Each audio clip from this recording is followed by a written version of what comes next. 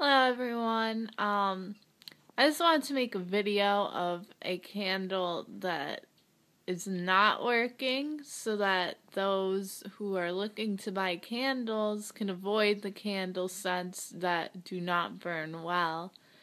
Right here I have coconut water and when you smell it cold it smells so good. It smells like straight up coconut but it has like that water um, set to it. It's not watered down, but I think you get what I mean.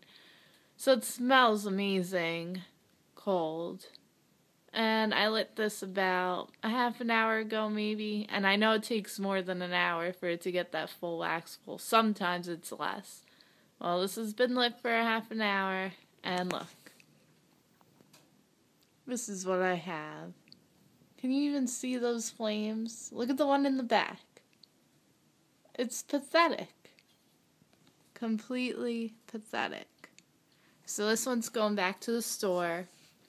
Um, I've been watching other reviews on YouTube of people putting up videos, and I'm going to choose the candles that they said burn the best rather than pick them for their scents because obviously that's not working here. So, this is just informant video, I guess you could say. So avoid coconut water.